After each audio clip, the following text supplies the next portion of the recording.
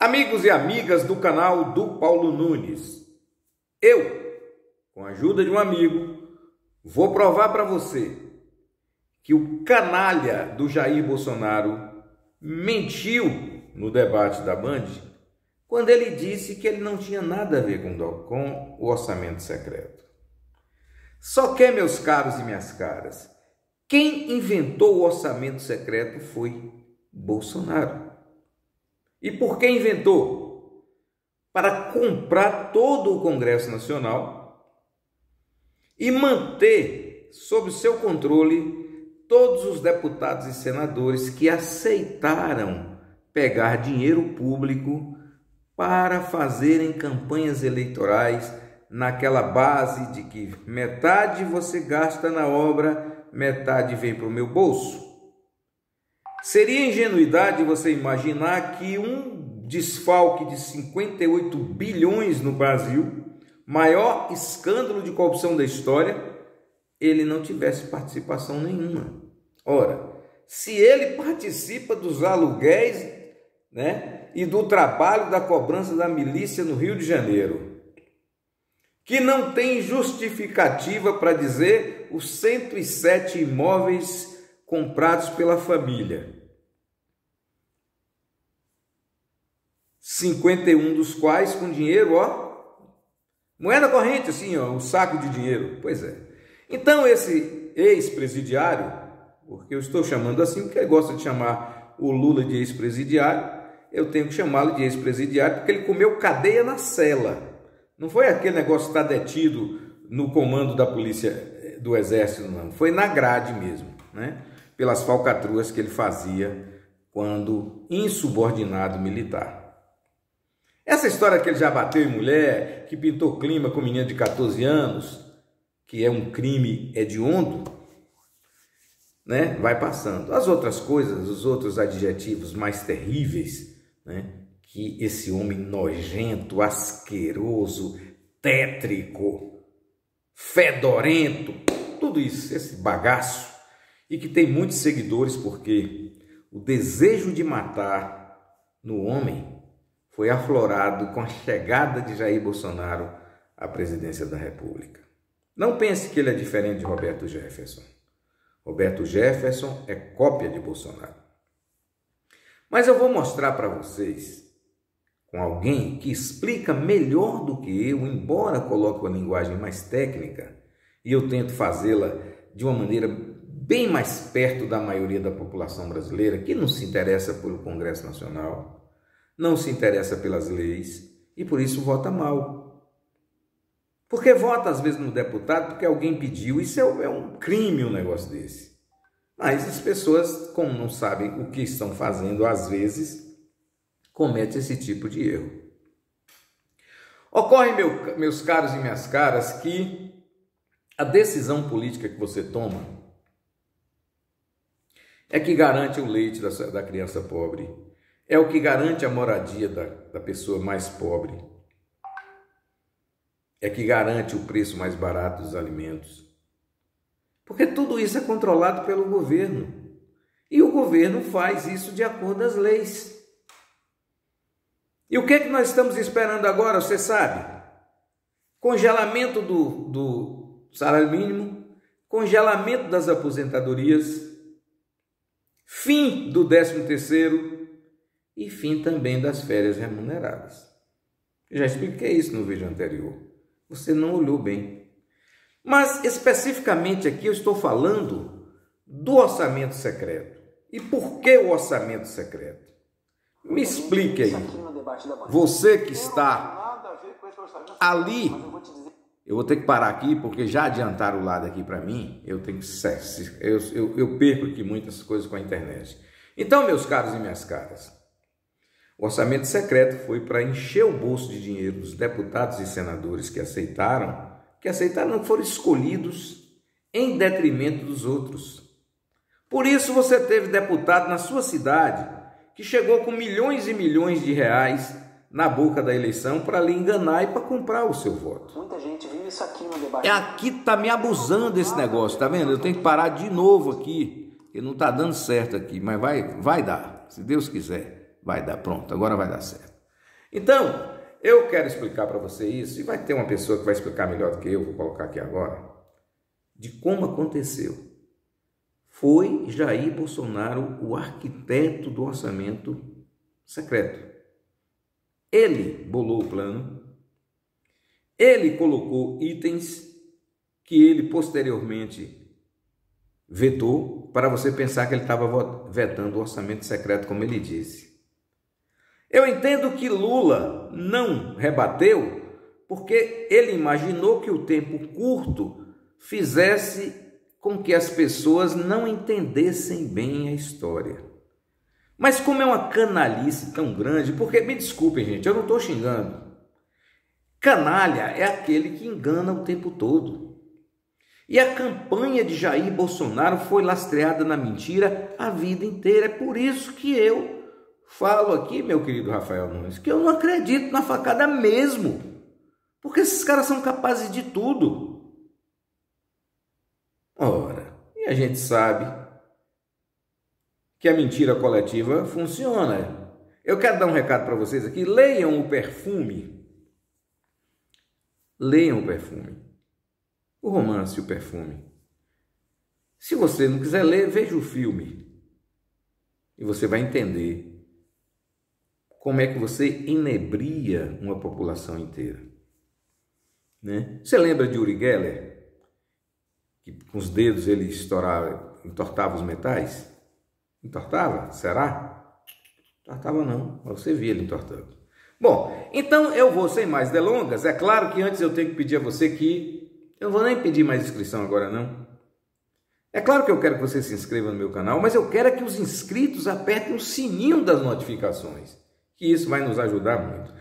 Eu vou passar para você esse vídeo e você vai ver para e passo sequencialmente a trama do orçamento secreto.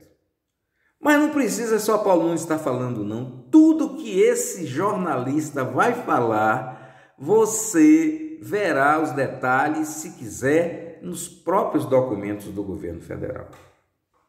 Né? Então eu vou passar para você agora pedindo desculpas pelo meu jeito aqui, porque até hoje eu não tenho quem me ajude nisso mas você terá essa informação bem segura.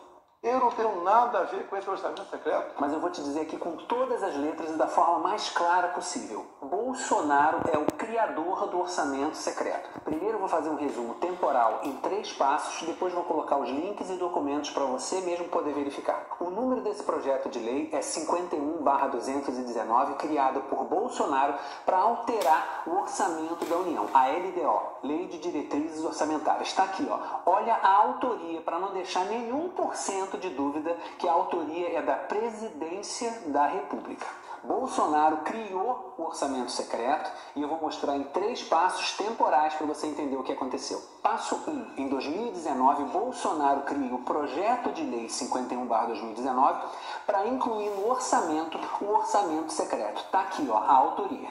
Passo 2. Manda-se para o Congresso em novembro de 2019 e eles criam a lei 13 898. Passo 3. Em dezembro de 2019, ela volta do Congresso para as mãos de Bolsonaro e ele veta os parágrafos 2 que dava mais autonomia à ciência, tecnologia e pesquisa. Mas isso não é prioridade para ninguém, né? Ele altera, ele veta somente o parágrafo 2 da Lei 13 898 e isso volta para o Congresso, que gera finalmente a Lei 13957, que é o orçamento secreto, essa abominação que a gente tem nesse momento. Esse veto de um parágrafo é muito importante nessa história, porque ele é o álibi que Bolsonaro usa. Uma mentira é muito mais verossímil, muito mais fácil de acreditar, muito mais palatável se ela tiver 1% de verdade. E é isso que ele faz. Então, quando ele diz, eu não tenho nada a ver com isso, eu vetei, está aqui o documento do veto. A maioria das pessoas não vai saber o que ele vetou de fato e vai acreditar que ele vetou o orçamento secreto inteiro. E é aí que está a mentira. Ele não vetou o orçamento secreto inteiro. Ele vetou um parágrafo do projeto de lei que ele mesmo redigiu. Então percebe? Existe um veto veto a um parágrafo e ele usa isso como desculpa dizendo eu vetei a lei e não é verdade. Ele vetou o parágrafo segundo da lei de orçamento secreto que ele mesmo criou. E é esse orçamento secreto escandaloso que está em vigor nesse momento que é o mecanismo que Bolsonaro usa para negociar apoio com as bancadas. Ele é o único motivo do Jair Bolsonaro não ter sofrido um impeachment depois da gestão desastrosa da pandemia, inclusive tendo até sido julgado por tribunais internacionais por crimes contra a humanidade. Olha só. Que vergonha para o nosso país. Muita gente fica confusa e fala: não, ele não ia fazer isso, ia ser pego, ia ficar feio. A resposta é simples é um método de mentira simples, porém eficiente. Ele conta com o fato de que a maioria das pessoas não vai verificar. E mesmo quem verificar não vai chegar a 1% da audiência que ele teve no debate no momento em que ele fala, eu vetei. Ele fala num debate de televisão aberta para milhões de pessoas com a maior cara de pau que não tem nada a ver com o assunto, visto vocês aqui a autoria e a assinatura dele, porque ele sabe que nem 1% das pessoas vai procurar a lei, descobrir a autoria, descobrir se houve realmente um veto, sobre o que é esse veto e se ele alteraria de fato o funcionamento normal da lei, que por sinal era dele. Tá entendendo? Quase ninguém vai procurar verificar isso. E quem verificar vai ser como eu, vai ter uma audiência mínima, insignificante, que não chega nem aos pés do que aconteceu ali no debate. Bolsonaro criou o projeto de lei do orçamento secreto, ele é que criou, tá aqui a autoria, foi para o Congresso, houve uma pequena alteração, ele vetou um parágrafo e foi aprovado no formato que ele bolou para gerar a estrutura de sustentação a esse governo desastroso. E isso está acontecendo nesse momento no governo Bolsonaro. Entra você agora aí no Google, digita PLN 51/2019. Entra no site do Congresso e você vai ver aqui autoria, Presidência da República. A não ser que haja outro presidente, né? O nome desse cara é Jair Bolsonaro. Bolsonaro é o pai do orçamento secreto. Vou dizer com todas as letras. Ele criou o orçamento secreto. Todas as letras, inclusive essas letrinhas aí da assinatura deles que vocês estão vendo. Então não tem para onde fugir. Ele fez isso para se blindar das centenas de pedidos de impeachment contra ele. Clique aqui para compartilhar. Bom, você viu aí bem explicado o que que aconteceu. Só que quem é realmente, ele fala e fala bem, quem é do povo que vai ter tempo. Eu não digo que a pessoa não seja inteligente, não, é assim, que vai ter tempo de verificar isso. Aí ocorre o que? O cara dá aquela risada, porque sei o que, entendeu? Eu sou imbrochável. Até no imbrochável dele tem gente que acredita. Aí o que acontece? Você não sabe de nada, você não lê nada, você não verifica nada. Aí você sai reproduzindo que o orçamento secreto não foi ele que inventou, mas foi ele. Bolou direitinho, conversou com Paulo Guedes, conversou com sua assessoria, falou aqui, tá pronto. Com isso aqui, eu agrado todos os parlamentares do nosso lado, maioria, e não tem impeachment contra mim. Principalmente o senhor Arthur Lira, que recebeu milhões de reais para comprar coisas superfaturadas. Só para que você tenha uma ideia, o senhor Arthur Lira comprou kits robóticas, e eu vou dar aqui um número é, fictício, de 200 reais, é só para exemplificar, ele comprou por dois mil reais. Entendeu? É claro que esse, essa empresa que vendeu devolveu o dinheiro para o senhor Arthur Lira. E aí o país é roubado nesse dinheiro. Por isso, meus caros e minhas caras, é que vai ser necessário, caso Bolsonaro vença com seu voto, que haja um congelamento das, das aposentadorias, mas não é por muito tempo, não, é só por dois anos. E você é patriota, né? Então você já ganha uma aposentadoria muito alta. Então você vai contribuir com dois anos com esse dinheiro que você deixa de ganhar do aumento para é, consertar o rombo que está no país. Do outro lado, ele também mantém o salário mínimo parado por dois anos nesse valor. Aí também melhora a vida, porque tudo é baseado no salário mínimo do governo federal. Entenderam agora?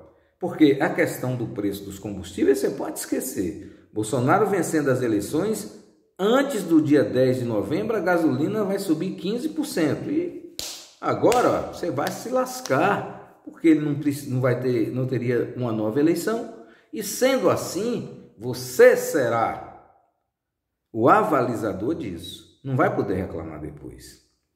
Eu já disse no áudio anterior. A oposição tem 140 deputados, pode fazer barulho, mas não faz sucesso. O que, é que eu digo de sucesso? Não tem o resultado, porque não, não ganha nada, vai perder tudo. porque ele tem a maioria do Congresso Nacional. Sendo assim, vai vigorar tudo que Bolsonaro quiser. Mas isso depende exclusivamente de você. Por exemplo, você acha, por exemplo, que é injusto o seu patrão lhe dar um salário de férias no mês que você não trabalha.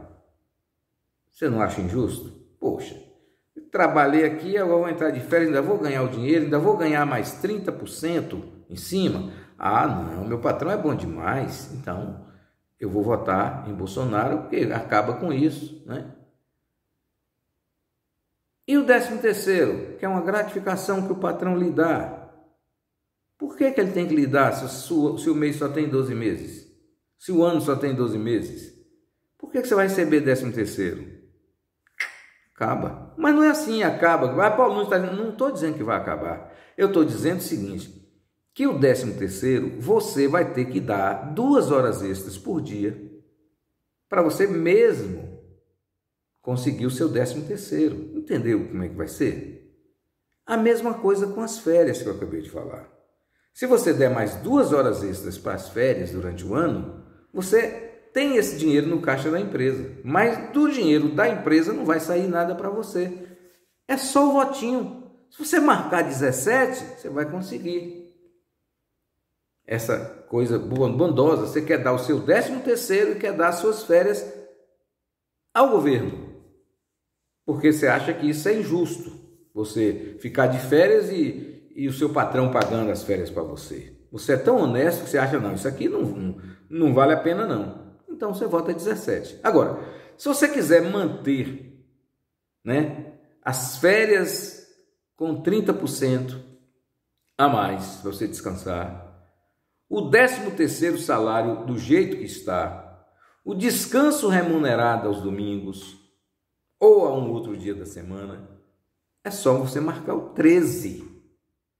Se você marcar o 17, você vai pensar, você que sabia de uma coisa? que nesse projeto de reforma trabalhista do Bolsonaro, você será obrigado a trabalhar sete domingos, ou seja, você trabalha quatro domingos no mês e mais três no outro, para você folgar um domingo. Então, aquele jogo de Vasco e Botafogo, você não vai assistir. Porque tem que casar com um domingo que você possa ir para o Maracanã. E você não vai. Entendeu? Agora, seja, pense em você e não deixe que fique a vida inteira o pessoal da esquerda lutando por você e você tome-lhe bola nas costas. Você acha que, claro, para que essas universidades? Ah, não, é muita universidade para o cara ficar fumando maconha, não é assim que o pessoal da direita fala? Não, tá todo mundo fumando maconha na universidade. Hum, pois é. E as escolas técnicas? Ah, não. Para quê? Formar engenheiro eletricista em escola técnica? Não. Chama seu Durval ali que ele coloca o chuveiro para você. Se estourar, não tem problema. É barato chuveiro, não é assim? Ah, não. Escola para de pobre, creche. Ah, quem tiver seu filho que cuide, não é governo que tem que fazer creche para ninguém, não. Enfim, é só uma questão de escolha. Se você quiser marcar 17, o problema é seu, mas depois não venha chorar. Mas se você quiser que o Brasil melhore, se você quiser que a minha vitória da conquista complete o ciclo das casas populares para abrigar todas as famílias carentes, que só faltam 7 mil, tem 10 mil construídas pelo PT. Por Jair Bolsonaro nem sequer se falou em moradia popular. Construiu absolutamente nada. Não construiu uma creche em lugar nenhum do Brasil. Ele achou que estava tudo pronto. Preferiu vender a madeira do, da Amazônia. Sei para que tanto pau, né? Que só fica passarinho, fica lá priar correndo, viado, Tatu? Ah, pra que isso? Ah, acaba com isso aí logo, vamos vender os gringos, né? Aí você vota 17, ok? Se você quiser um país melhor para todos, vote 13.